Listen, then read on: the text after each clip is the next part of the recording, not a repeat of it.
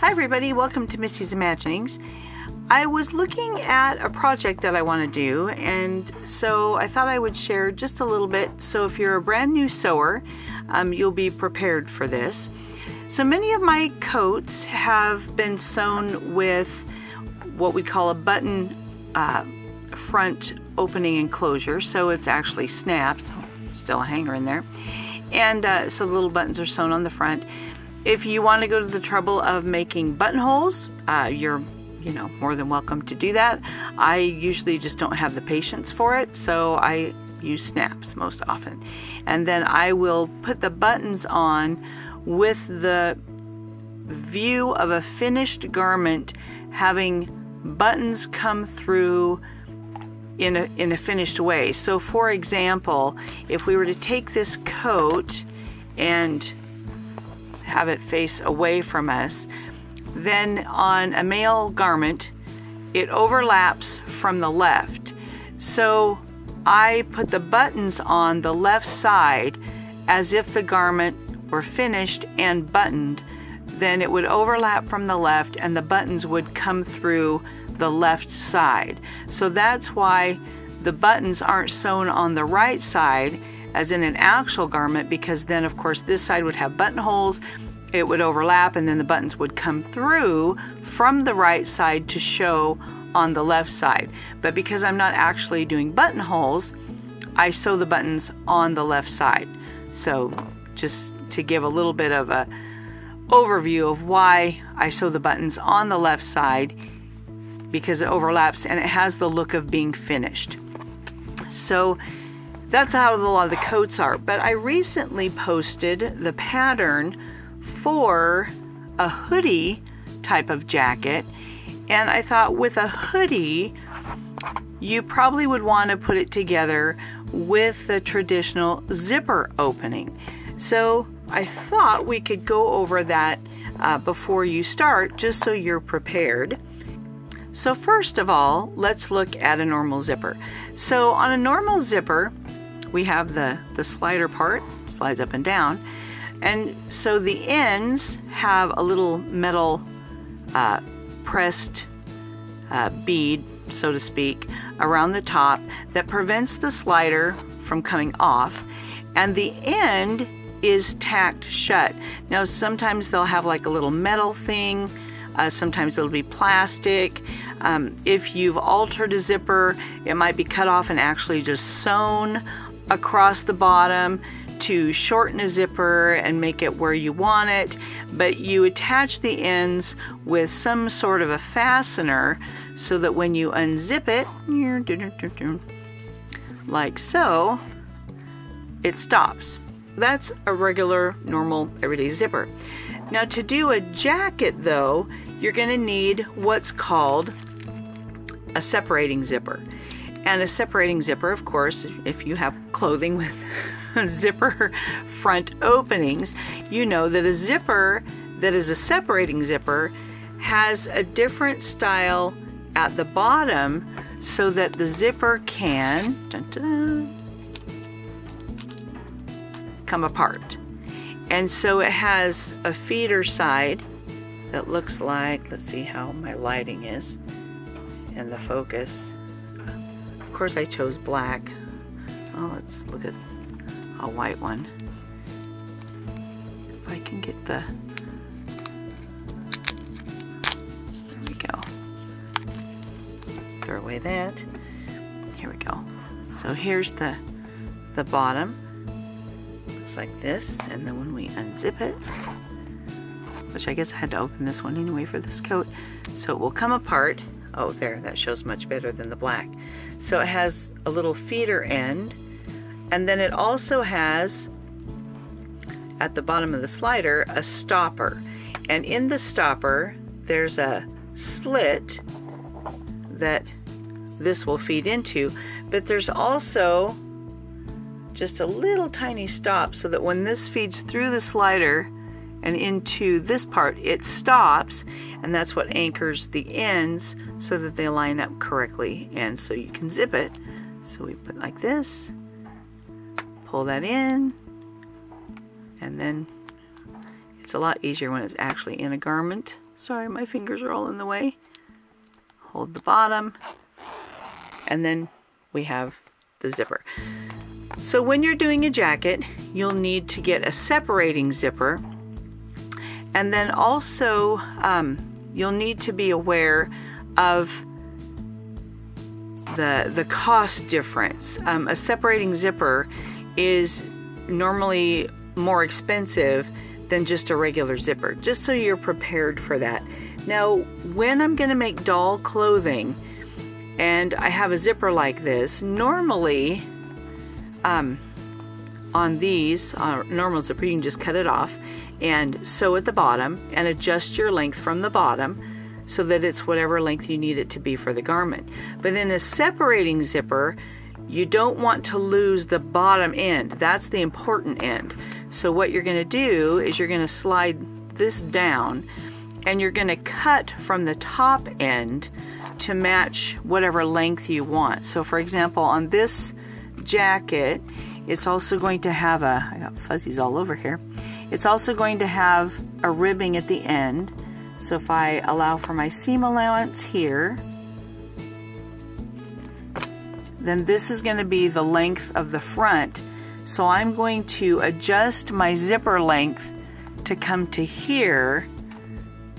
And so I'm going to be cutting off the top part of the zipper because at the top I can always sew on a bead, just a little white bead, and tack off on these teeth and put a bead there so that this will only go to a certain height and then it won't slide off of this side because the important part that you want to keep is this. So when you're doing doll clothing and you're dealing with a separating zipper, don't make the mistake of not paying attention thinking, okay, I need to be this, this long and you cut it. because this is the important part. This is what you're paying for is the end of the zipper that will come apart. Now, if you're an experienced seamstress, and are you already know that, but a lot of people on the channel are new sewers and beginners. So I just kind of want to point that out before you start because very seldom are you going to find a, a separating zipper that is exactly the length you need for your project.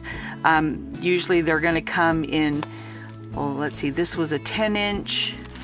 Um, these are 10 inch zipper. I've seen them in 7, then it might go to a 15 and then a 21, and seldom are my garments one of those exact measurements.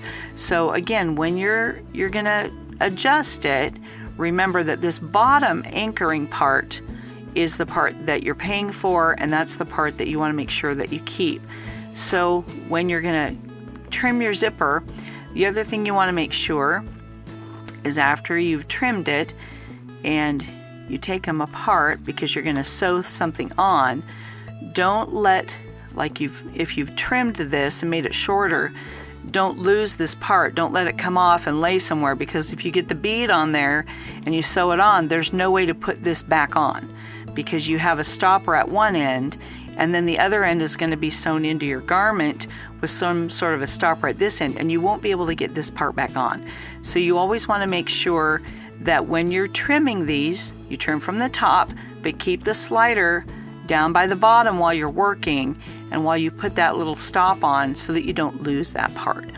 So just a little intro into using a separating zipper on your hoodie so that you're kind of prepared for how those work. And here I can zip it up because it's still the original fixture, but you can kind of see this has like a clear little bead. Maybe it'll show, maybe not Here we go. I'm afraid to get too close to the camera because then it just won't focus, but there's like a clear little bead pressed on the end there, and that's what keeps the, the slider from coming off. So just a little update on using one of these so that you're um, aware on how to maneuver and uh, trim those off to where you want them. So we just wanted to do that as an uh, intro into making our hoodie project. So I have the, the hood cut out. I have the cuffs for the bottom edge for both the sleeves and I have the sleeves here and I think somewhere in my other bag I have the pockets for the front. So we'll go ahead and get started on a hoodie. So to make my uh, hoodie pattern into a coat, I have two pieces for the hood, two sleeves, two front pockets, I have two sleeve cuffs, I have the front, two pieces of the front, the back, and then the cuff ribbing part that will go all the way around the waist. And then, of course, I have my separating zipper. So the first thing I'm going to do is I'm going to sew the hood together with right sides together. And so I'll just place them like this. There we go. And I'm going to sew um, around the top of the hood and down the back of the hood. And let's see, maybe I can back up a little bit so I can show you a little bit more of what we're doing here. And then once that's sewn, I was making wigs, so they all have fur on them. Um, once that's sewn, then I'm going to turn this back and create just a narrow casing all the way up to the top and then back down the other side that will be for the drawstring um, that will go in later. But first I sew it together around the outside edge and then go ahead and, and create the casing before I put it in the jacket. And um, I'm not going to worry about serging on this because it's um, a knit like sweatshirt fabric and it's not going to fray. And so I don't need to worry about that. Um, then on the sleeves, and we've kind of talked about this before, and because I always want to prepare for how stretchy my cuff material might be because I'm using some uh, reclaimed fabric for this. So this was actually cuffing taking, taken off of a sweatshirt. And I always make my pattern pieces a little bit longer than they might need to be in case this doesn't have a lot of stretch. But as you can see, this has a lot of stretch.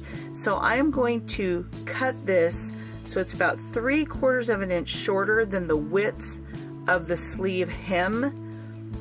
And then I'll, when I sew it, I'm gonna anchor one end, then I'm going to stretch the unfolded edge, the raw edge, to match the edge of my sleeve, and then it will create this natural bow because then it will be more uh, tight around the wrist than around this part. But my pieces are cut longer than they need to be and that's what I did on the pattern just because this fabric, depending on what you use, may not have this much stretch to it.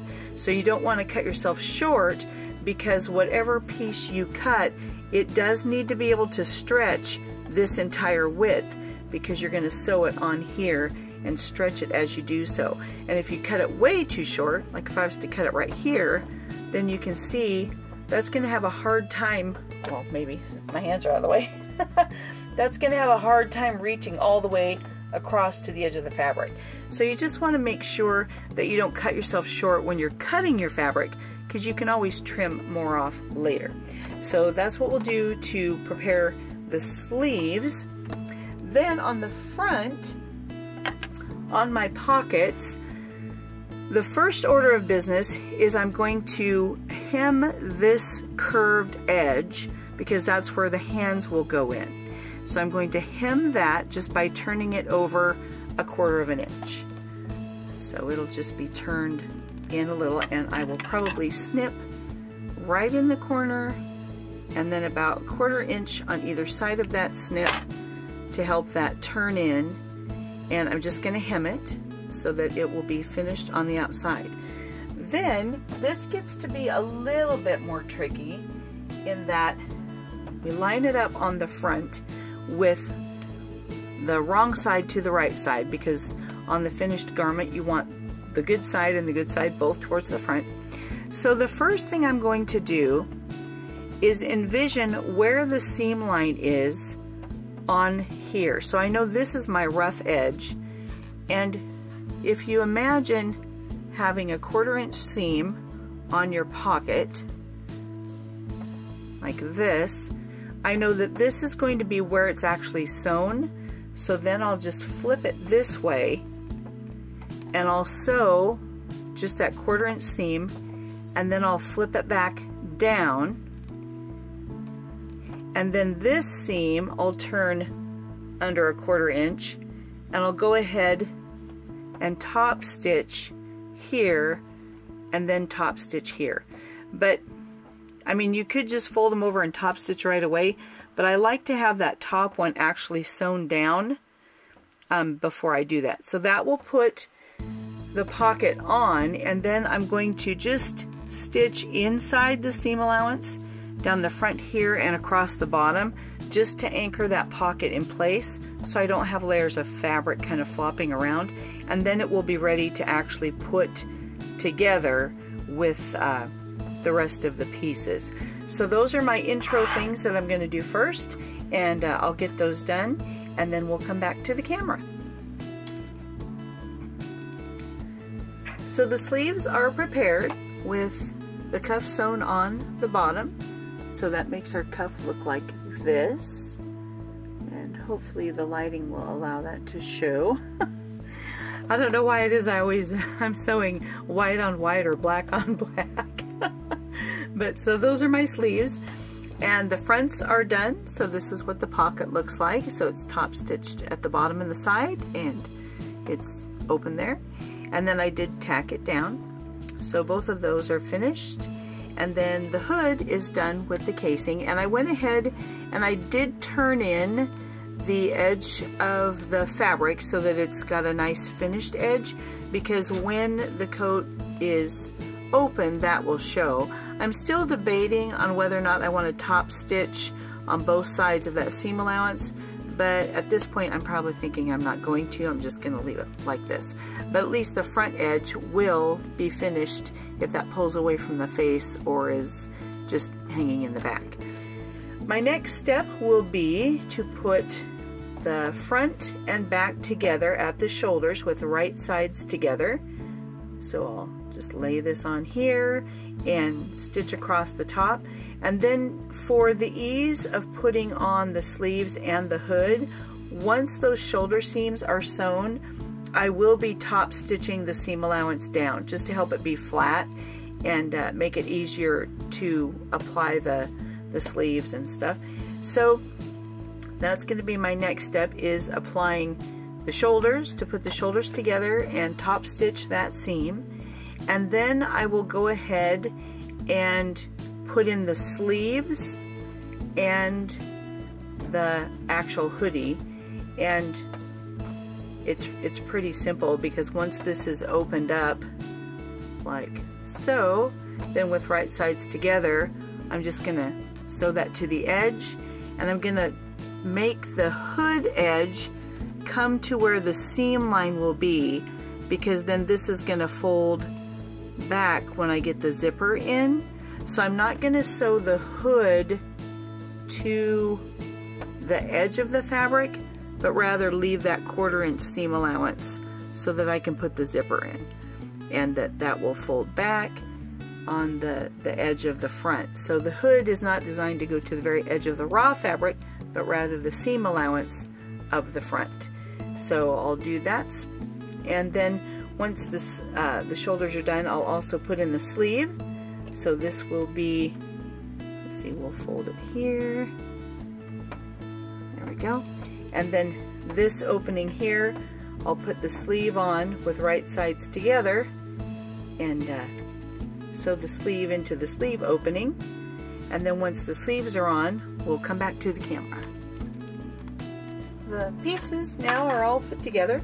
So I have the hood attached and the sleeves on. And the next thing I'm going to do, because I want the zipper to go not only the length of the front, but the length of the front when the bottom waistband is, is applied. So in order to do that, I have to have my sides put together. So before I put the zipper in, I'm going to turn the jacket so that it's inside out.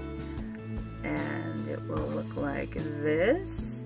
And then I'll turn this side inside out like this. And I'm going to start at the sleeves and I'm going to take the seam allowance from the cuffs and sew it upwards towards the shoulders. So it would look like this. And I'm gonna start at the sleeve um, hem, so up to the underarm and then back down the side because then once the jacket is all put together, then I can put the waistband on the bottom hem because I don't want to put on my zipper until I have that extra length of what the actual length of the front will be when it's complete um, because if I put the zipper on right now it'd only go to here and then I would have that unattached or the, the waistband that would not have part of the zipper on it. So we're going to go ahead and do the underarms first and then down the sides so that that will actually put the rest of the jacket together. And then once it's put together, we'll go ahead and put on the waistband. Here again, I'm gonna do that the same way that I did the cuffs on the sleeves. So my waistband is less length than the actual opening of the jacket. And so I will start at, what I'm going to do is actually pin the center and pin the center back just to kind of help hold it in place and then stretch it, get to that center back, and then stretch it the rest of the way so that this will be stretched to match the length of the hem.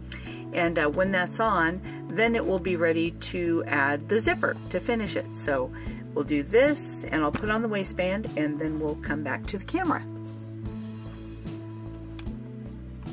Now the jacket is put together, so all we need to do is to add the zipper to the front finish up a little bit about the neckline and put in the drawstring. So for the zipper, I want the zipper to go almost down to the very edge.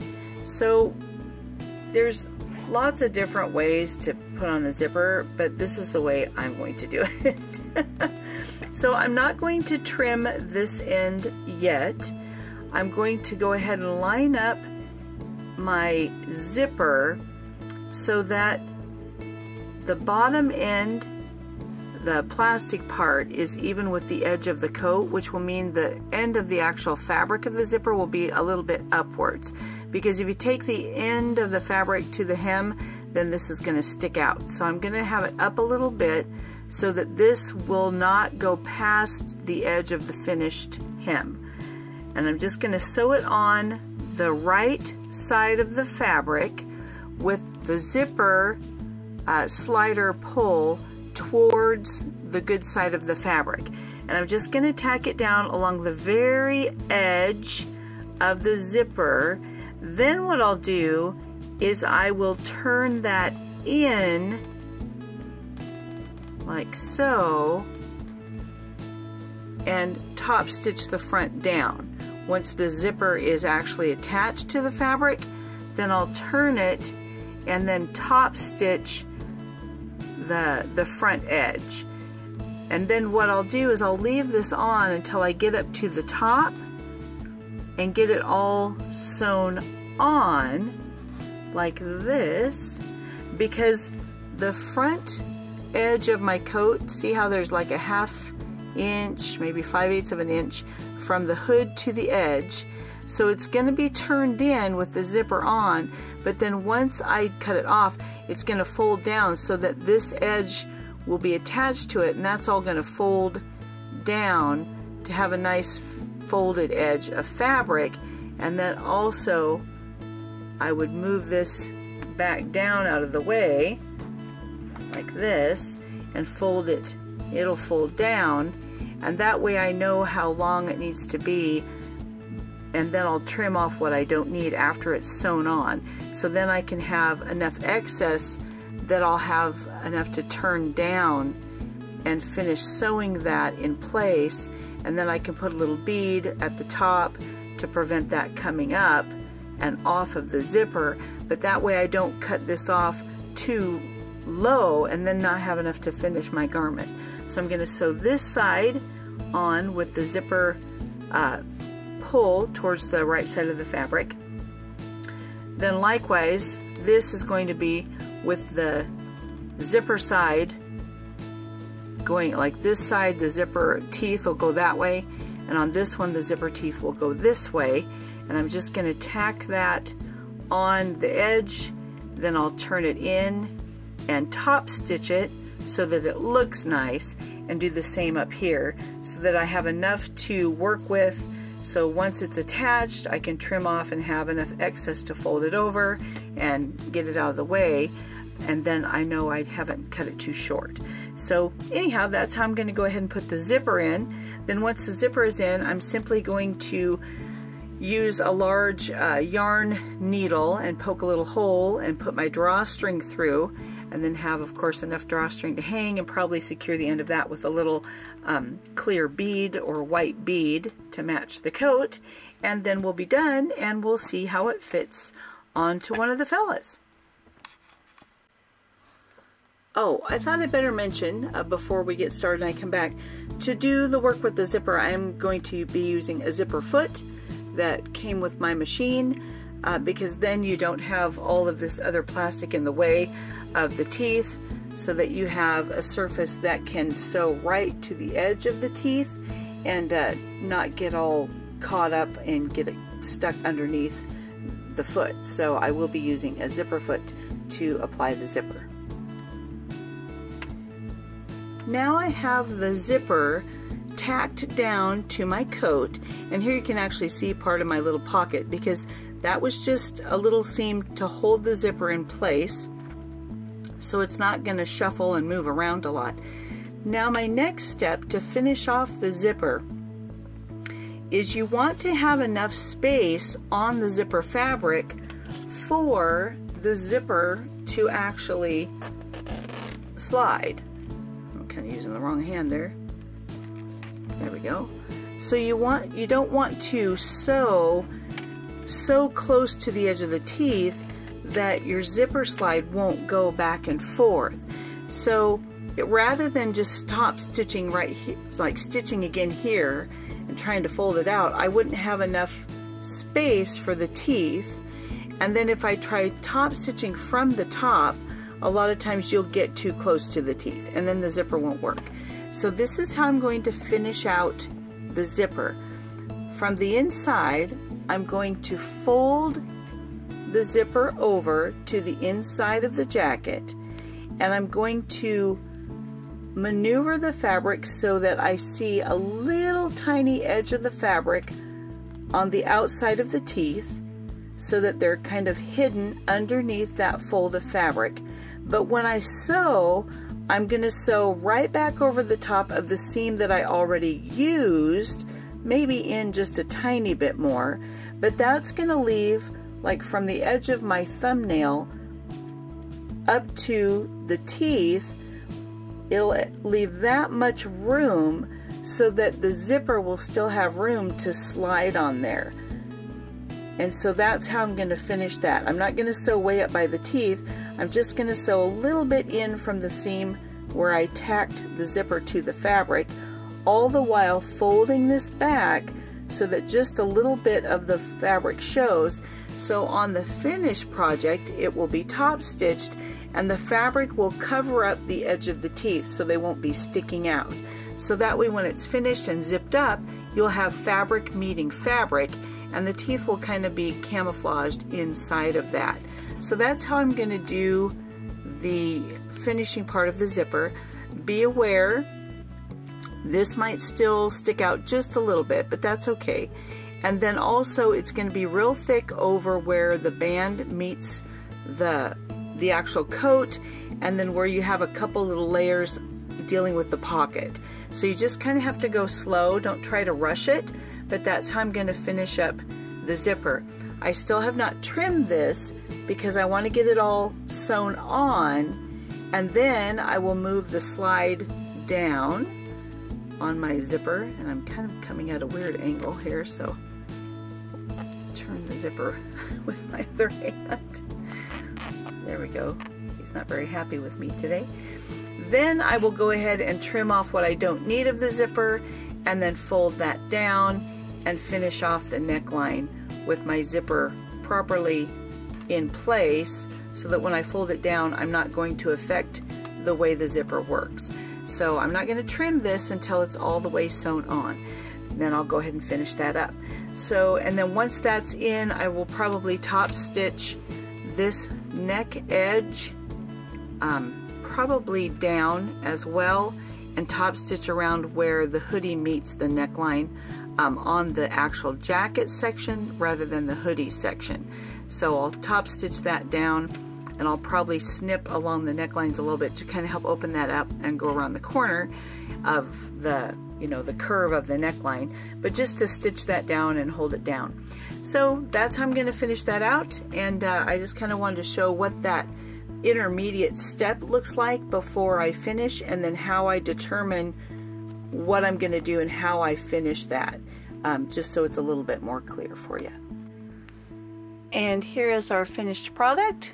So here is the, the hoodie. We'll spin them around and uh, it's got the drawstring in the hood. The hood is a little large so if you'd like to scale that down then yeah, that's something you might want to do. Um, also, the sleeves are kind of puffy because he has a long sleeve shirt underneath that. And let's see if I can unzip while I'm actually holding a camera here. Maybe. I have to switch it out a little bit. Ah, there we go. So there's the, the zipper closure and how that looks on the front. And then if I pull this up, let's see, I'll switch my hands out here. And uh, yeah see so the hood is very large so you might want to make it a little bit smaller if you'd like.